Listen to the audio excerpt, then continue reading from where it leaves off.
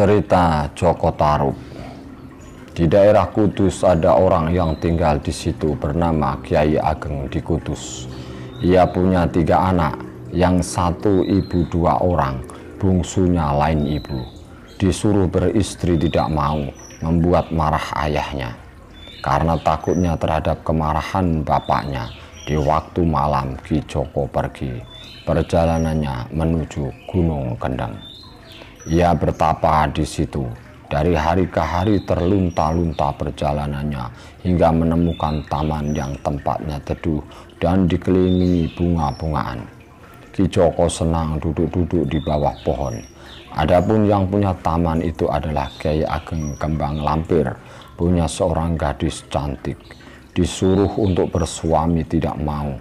Di waktu berhenti beduk siang, Putri Kiai Ageng Lampir tadi mengambil air ke taman sendirian.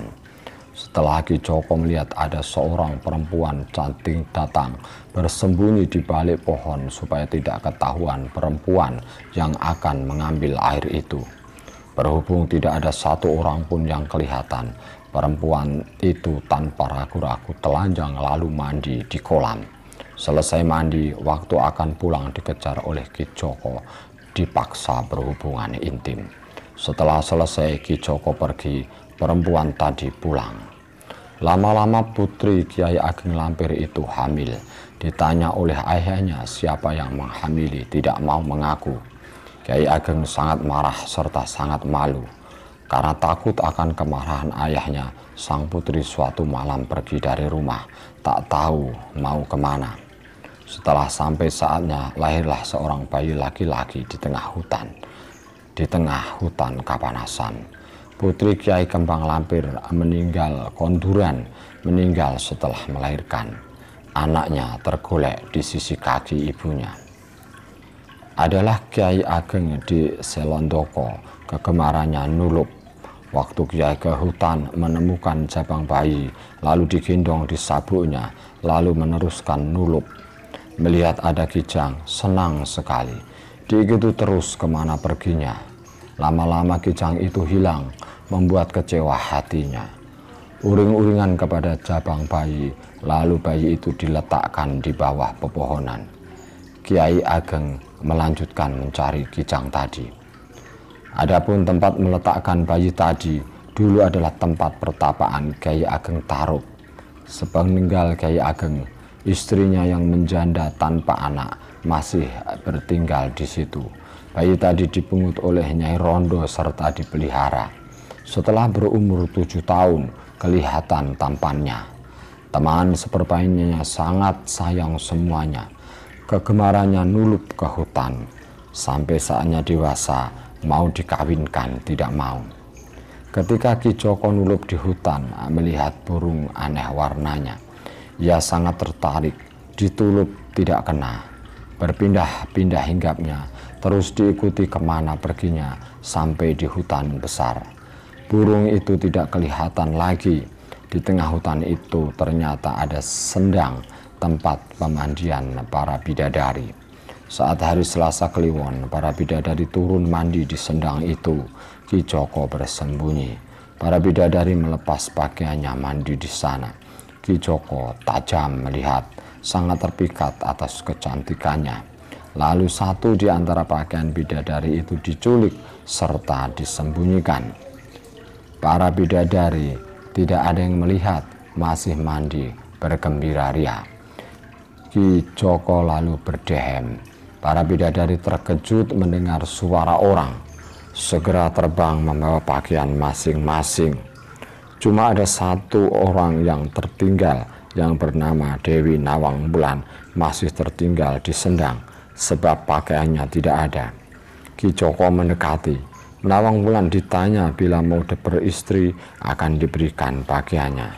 Karena bingung hatinya, Dewi Nawang Bulan terpaksa bersedia memenuhi permintaannya. Pakaiannya pun segera diberikan. Nawang Wulan dibawa pulang dan diperistri menjadikan kegembiraan bagi Nyai Rondo di Tarub. Kemudian Nyai Rondo Tarub meninggal, anak angkatnya kemudian disebut Kiai Ageng dari Tarub. Sudah punya putri, seorang yang sangat cantik, yang diberi nama Roro Nawangsih. Pada suatu hari Dewi Nawang Bulan mau mencuci popok ke sungai. Suaminya diminta menjaga dandang tempat untuk menanak nasi serta dipesan dengan sungguh-sungguh jangan sekali-kali membuka tutup dandangnya. Setelah Dewi Nawang Wulan ke sungai, Kiai Ageng menunggu nasi sambil menjaga anaknya. Batin Kiai Ageng istrinya itu hanya diberi persediaan padi satu lumbung, tetapi sudah cukup lama padinya tidak berkurang. Kiai Ageng tidak dapat menduga sebabnya. Terdorong rasa ingin tahu yang besar, seberapa yang ditanak, tutup dandang itu pun lalu dibuka. Di kukusan itu hanyalah sebutir padi, tutup lalu dikembalikan lagi. Setelah datang, istrinya mengangkat tutup. Padi sebutir masih seperti sama, tak tala dimasukkan. Sangat menjadikan marah sang Dewi. Ia menduga kalau tutup telah dibuka oleh Kiai Ageng. Suaminya itu akan ditinggal pulang ke kayangan, tetapi sang Dewi sudah hilang kesaktiannya, tidak dapat kembali ke alam kawidateran. Sejak terbuka rahasia memasak nasi itu, terpaksa Nawang Wulan setiap pagi harus menumbuk padi. Lama-kelamaan padi dalam satu lumbung padi itu habis. Sehabisnya padi itu, pakaian Dewi Nawang Wulan yang bernama Ananto Kusumo yang dulu diambil oleh Ki Joko Taruk waktu ada di pinggir sendang ketemu tertimbun padi, membuat marahnya sang Dewi. Pakaian lalu diambil terus dipakai sang Dewi yang pulih kembali kesaktiannya seperti sedia kala. Ia mengatakan kepada suaminya bahwa ia akan pulang kembali ke kayangan sudah diperintahkan tidak boleh berlama-lama untuk bersatu. Pesannya kepada suaminya, apabila anaknya menangis supaya dibawa naik ke panggung, di bawahnya supaya dibakari jerami ketan hitam Sang Dewi pasti akan turun menyusul anaknya. Sang Dewi akan terus menyusui anaknya. Setelah berpesan demikian, diambilnya batang jerami ketan hitam, dibakar, dan Sang Dewi membumbung mengikuti asap, menjadikan sedih hati Kiai Ageng Taruk. Kiai Ageng Taruk melaksanakan semua pesan Sang Dewi tadi. Setiap anaknya menangis, dibawa naik ke panggung, Dibakarnya jerami ketan hitam di bawahnya. Setelah semakin besar, suara anaknya mirip suara ibunya. Alkisah Kiai Buyut Mahasar berjalan datang ke Mojopahit akan menghadap sang raja menyerahkan hasil bumi berupa padi banyak sekali. Raden Bondan Kejawan yang mengikuti dari belakang tanpa semutan Kiburut Masahar Padi sudah diaturkan ke Prabu Brawijaya. Raden Bondan Kejawan langsung ke Sitinggil memukul gamelan Kiai Sekar Kiai Sekar Delimo sehingga membuat terkejut sang Prabu. Penabuh segera ditangkap dan diserahkan kepada sang raja. Setelah diketahui sebagai anak Kiai Buyut Mahasar, lalu diberi titah oleh sang raja, diberi keris dua macam, yaitu Kiai Mahisonular dan Kiai Mahelo serta sebuah tombak bernama Kiai Pleret. Perintah sang raja kepada Kiai Buyut supaya Raden Bondan Kejawan menyerahkan barang-barang tersebut kepada Kiai Ageng Tarub.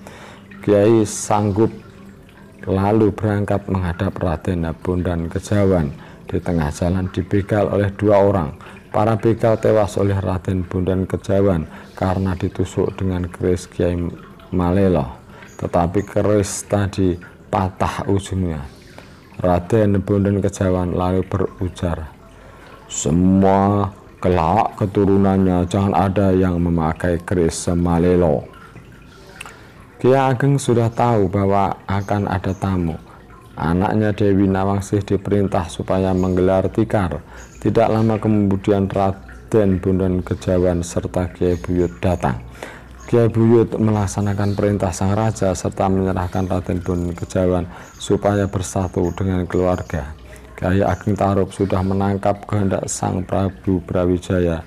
Jawabnya, iya bersedia. Sepulang Ki Buyut Masahar, Raden Bondan disatukan dalam persaudaraan dengan anaknya Kiai Ageng Tarub. Pada waktu itu Sang Retno Nawangsi usianya 14 tahun. Raden Bondan Kesawan namanya diganti Lempeteng oleh Kiai Agung Tarub.